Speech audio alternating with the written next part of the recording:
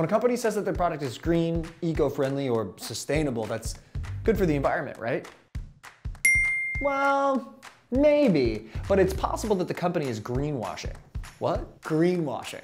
It's when a company makes unsupported claims to mislead customers into thinking that their products are sustainable or eco-friendly. This allows companies to appeal to their environmental-minded consumer without actually having to make meaningful changes in their business practices. And that's not cool for you or the planet that we live on. No, it's not.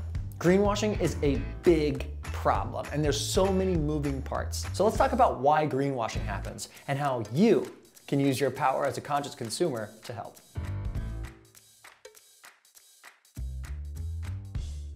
Wow. Sustainable explainable. Hmm. So why would businesses actually decide to greenwash?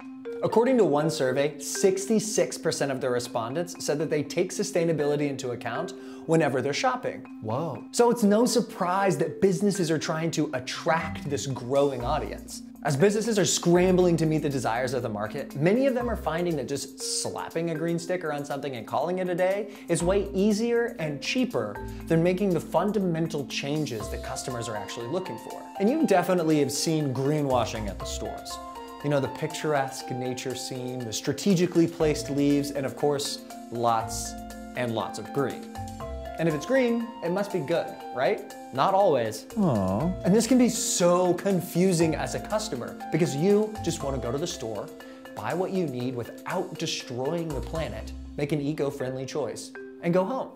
But greenwashing floods the market with so many products that claim to be environmentally friendly when they're actually not. And that makes it very difficult for you as a consumer to make the best sustainable choice.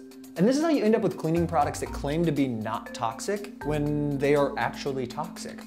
Or a strawless lid that turns out to have more plastic in it than a lid in a straw.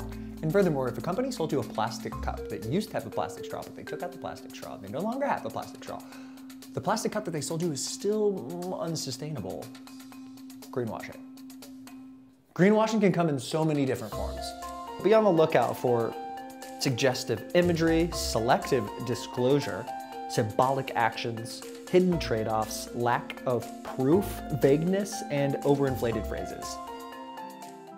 At this point, you're probably ready to toss in the towel on green consumerism, but don't hold on to that towel because there's hope. Green products, they do exist.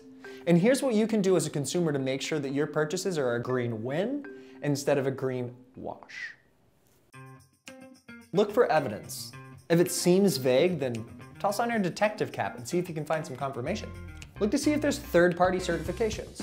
Because third-party certifications help to confirm that a product is eco-friendly. Look for stamps of approval like FSC certified, USDA organic, Energy Star, and Fairtrade USA. Beware of plain language, like 100% earth-friendly or completely sustainable.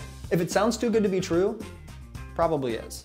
Make sure that there's clear marketing when referring to eco claims. When looking at a product, marketing should tell you whether the packaging or the product, or both, are sustainable. And lastly, do your best. In an age of fast-paced information updates and a changing sustainability landscape, it is truly difficult to know whether or not you're making the right decision as a customer. But remember, it's these large companies that need to change. And the weight of the world is not on your shoulders, but your choices do have an impact. These companies listen to the market and they listen to the consumer. Every day we have lots and lots of decisions that we make. That means we have lots and lots of opportunities to make sustainable decisions. So stick in there. You're not alone because we are in this together. Thanks for watching. And if you're a little curious and you want to know more about greenwashing, go to the link in our bio. And also go to our website, sustainable-earth.org to be up to date on all things sustainability.